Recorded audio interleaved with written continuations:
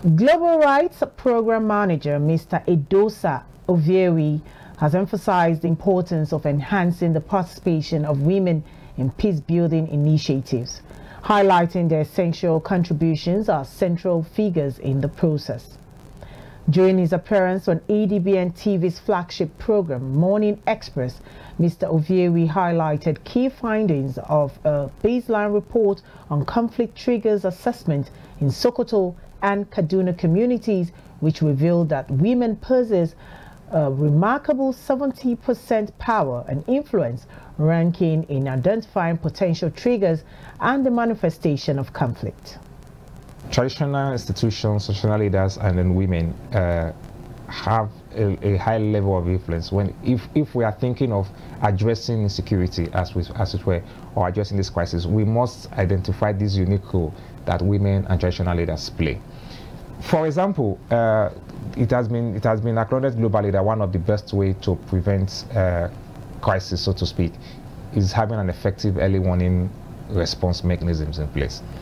And that involves identifying early warning signals or picking up early warning signals and resolving those those issues before it escalates into into crisis. But who are the people that sees this who get crisis these signals, it builds up as, as these signals as it comes up? Who are the first people that get they are mostly women. He further urged Nigerians to contribute their quota in preventing conflicts by lodging complaints and reporting manifestations of conflicts through the self-service mobile application. Is a Google Play Store app. It's not yet on iOS. It's called the EWRC app, which is the Early Warning Response Coordination app. Uh, you just have it downloaded on your phone. Uh, when you when you when you log in, I mean, you create an account. At the back end, you are seeing, and then uh, what is it called? A check, a background check is done on you as well to be sure that whatever information you are giving there, you are not coming in to actually get information. Anyway, you are limited to your own space or community within the within the, the app. The program manager also commended President Tinubu's proposal for creating a regional counter-terrorism center and the suggested holistic strategy for addressing terrorism linked with illegal mining, recognized as a significant conflict trigger in high-level counter-terrorism efforts. I will commend uh, President Tinubu uh, in some aspect on how he has always promptly respond to some of these uh, these issues as, as, as it happens.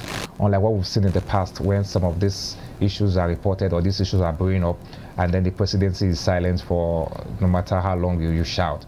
Uh, we, we are seeing some of those quick response.